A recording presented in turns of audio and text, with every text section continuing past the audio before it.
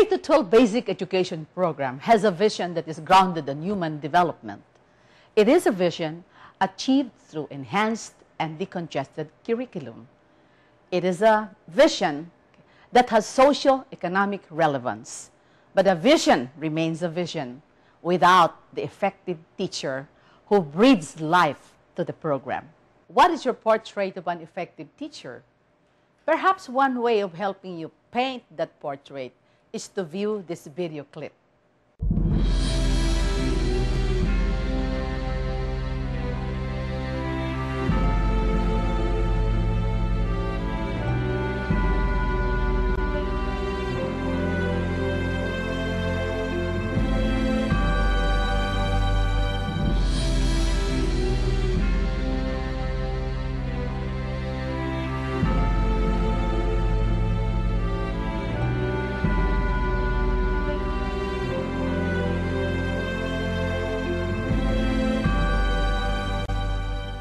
I'm certain that the images have triggered your thoughts and feelings, and that's also one way of helping you see yourself and find out whether you have those attributes of an effective teacher.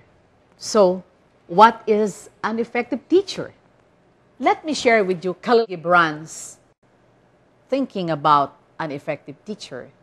To him, an effective teacher is one who does not bid his or her learners enter the house of his wisdom, but rather bid them to the threshold of their own minds. An effective teacher is a provocateur, always asking thought provoking questions that would encourage the students to think deeply about the questions and to think of the answers that may not be the same answers given by others.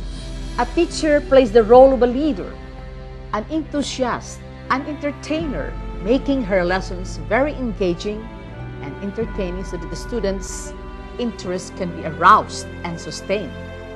A humanist, a sentinel, an optimist, a collaborator, a revolutionary, trying things out experimenting and exploring so that the students are engaged in lessons that get them transformed as individuals applying the whole brain learning.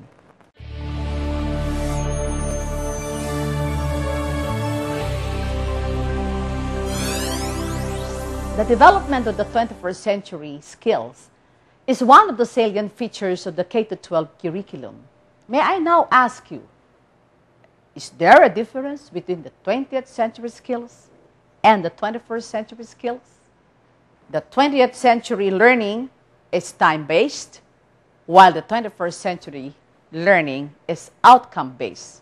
And that outcome-based instruction is very much found in the K-12 curriculum the 20th century learning is based on a fragmented curriculum.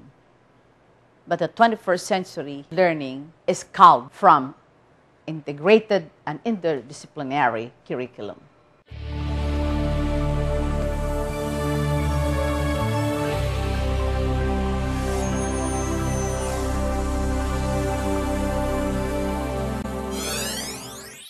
The 21st century teachers need to review the school curriculum so they could identify areas where subjects can be integrated and come up with strategies on how to effectively link them to enhance learning. An example of this is link between music and real numbers in discussing fractions, particularly in learning about the time signature of music. Teachers of the 21st century require different levels of digital literacy in their daily activities, such as writing and submitting reports, creating multimedia presentations, communicating or exchanging information with colleagues and students. Teachers' digital literacy could in turn be passed on to their students. This curriculum framework stresses the importance of global partnership for development and global competence. So, teachers in a global classroom need to include global issues in classroom discussion. Examples of those issues are peace, respect for cultural diversity, climate change, and global warming. The 21st century teachers need to know how to facilitate the acquisition of knowledge, skills, attitudes, and values beyond academics. Teachers must make sure that learning occurs not for students to pass the examinations, but for students to apply what they have learned in real life situations. Teachers themselves must have these 21st century skills so that they can help students develop the same skills. In a fast changing world, teachers' professional development must be an ongoing process so as to keep themselves updated with the latest trends. Effective teachers should work towards greater collaboration to nurture their own professional expertise. Research is also one of those skills very much stressed in the K 12 curriculum. Teachers must be knowledgeable about research so they could guide the students in these student driven activities. K 12 teachers need to be updated on the current trends, developments, and issues in the school, community, and the world. They need to apply present realities and develop skills in the students that will make them productive members of the 21st century.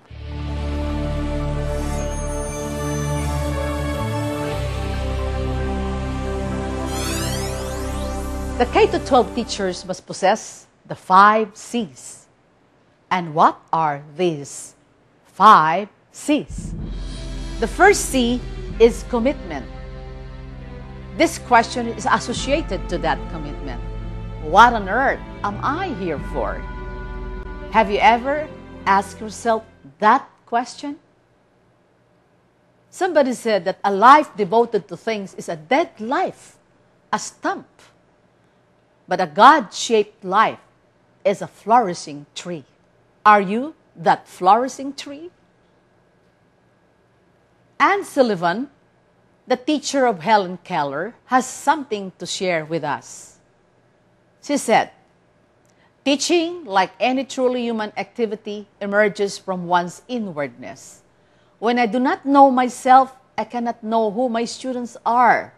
When I do not know myself, I cannot know my subject, not at the deepest level of my embedded personal meaning.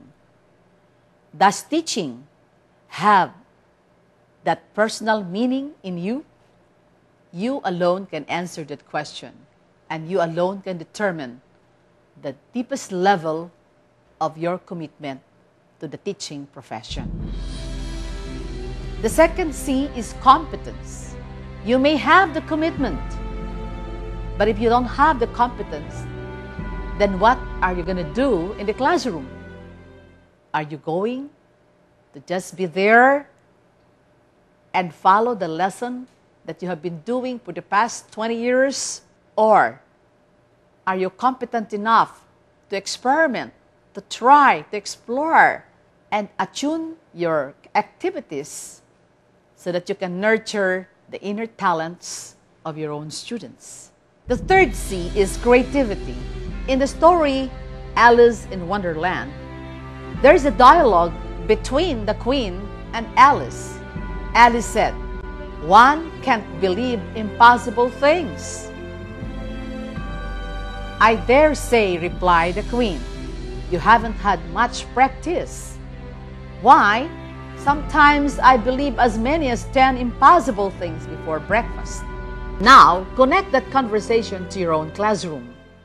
Do you encourage your students to exercise their creativity what are those activities that will make them bring out the best in them? What are those learning situations that will encourage the students to bring out their creative juices. To be creative is to think outside the box. How many times have you done this, fellow teachers?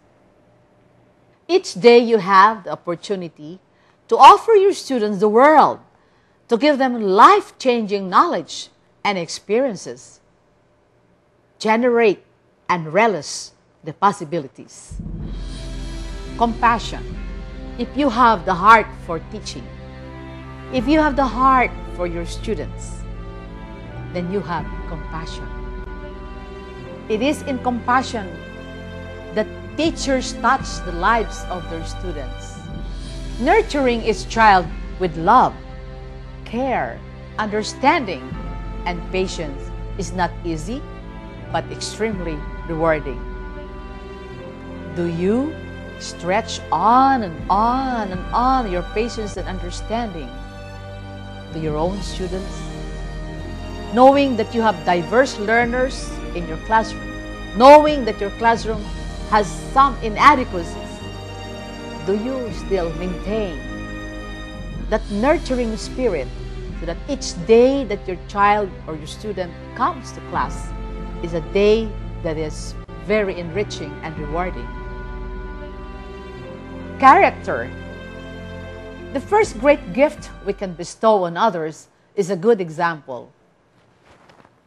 Do we, as teachers, walk the talk?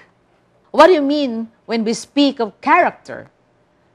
A person's moral character is paradoxically both the source and the result of his or her actions.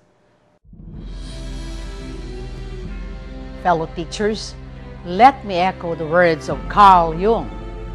One looks back with appreciation to the brilliant teachers, but with gratitude to those who touched our human feelings. The curriculum is so much necessary raw material, but warmth is the vital element for the growing plant and for the soul of the child. Preparing children for the brighter future is the most important work anyone can do. Fellow teachers, together let's do it.